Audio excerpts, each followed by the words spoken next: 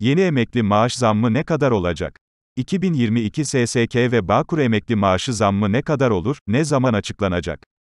2022 emekli maaşı zammı için geri sayım başladı. SSK ve Bağkur emeklileri Ocak ayıyla birlikte emekli maaşlarına eklenecek zam tutarını araştırıyor. 3 Ocak'ta enflasyon verilerinin açıklanmasıyla SSK ve Bağkur için 2022 emekli maaş zammı netlik kazanacak. Emekli maaşları ile ilgili son dakika. Ocak ayına yaklaştığımız şu günlerde, 2022 emekli maaş zammı da en çok araştırılanlar arasında yerini aldı.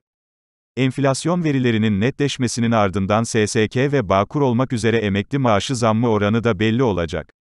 Bu noktada, Ocak 2022 emekli zammı ne kadar olacak ve ne zaman açıklanacak konusuyla ilgili araştırmalar yoğunluk kazandı. SGK ve Bağkur emeklilerinin maaşlarına gelecek zamla ilgili net bir rakam henüz telaffuz edilmedi. Bilindiği gibi SGK ve Bağkur emekli maaşlarına gelen zammın belirlenmesinde 6 aylık oranı etkili oluyor.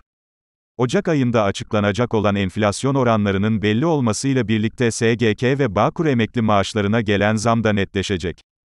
2022 emekli maaşı zammı henüz belli olmadı. Merkez Bankası'nın son enflasyon raporunda 2021 yılı enflasyonu %18,4 olarak tahmin edilirken, Merkez Bankası'nın beklenti anketine katılanlar yıl sonu için %21,39 enflasyon tahmininde bulundu. Türkiye İstatistik Kurumu'nun Kasım ayı verilerine göre ise yıllık enflasyon %21,31 oldu. Yıl sonu enflasyonu Merkez Bankası beklenti anketindeki tahmin doğrultusunda çıkarsa 2021'in ikinci yarısındaki enflasyon %11,9 olacak. Türkiye İstatistik Kurumu'nun açıkladığı Haziran ayı enflasyon verileri ile birlikte memur maaşlarına ve emekli aylıklarına yapılacak zam oranı da belli olmuştu. Buna göre, memur maaşlarına ve tüm emekli aylıklarına %8,45 oranında zam yapıldı. En yeni gelişmelerden anında haberdar olmak için kanalımıza abone olmayı ve bildirimleri açmayı unutmayın.